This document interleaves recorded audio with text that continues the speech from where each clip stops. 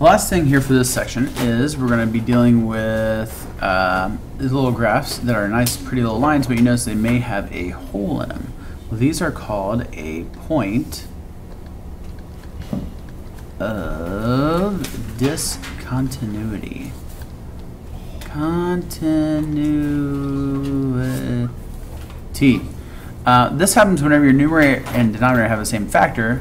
Uh, they cancel, and then you still have a uh, a variable or a uh, function on the top. So if you look at this graph down here on the bottom, um, your x plus 1s would cancel, and that would give you just an f of x is equal to x plus 2. So you would go up 2, put a dot, and then go up 1 over 1, up 1 over 1. Now notice where your hole is.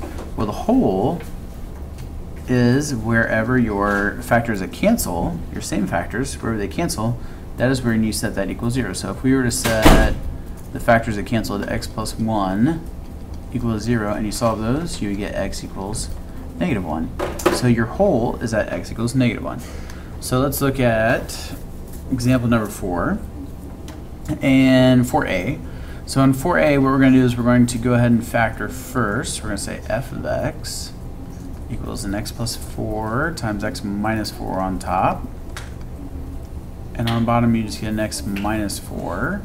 Well, if you notice what cancels out, your x minus 4s, well, those are important, so don't totally mark them out. But you're going to have the line, that's not very good looking there. Here we go. f of x equals x plus 4.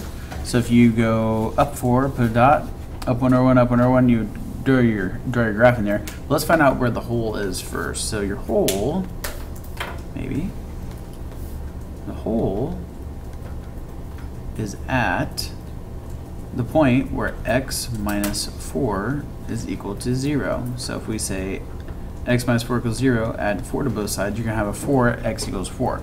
So if we go, if we start our graph at plus 4, put it out here, up 1 over 1, up 1 over 1, well, x equals 4 is way over here, so your graph's going to be off. So let's go by 2's on our y-axis. So 2, 4, 6, 8. Then you can keep going down if you want. Um, but let's go by, yeah, let's go by 2's here also. That'll just make it a little bit easier. 6, 8.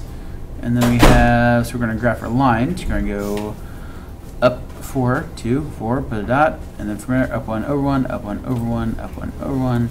Keep going all the way up. Then you go back down the other direction. And then we draw our line in here. Now the only problem is it's not going to be just a line, a nice pretty line. It's going to end up being a line with a hole right at this point. So you should have a line or a hole right here at x equals 4. So you go over to x equals 4, 2, 4 up here. There is the hole.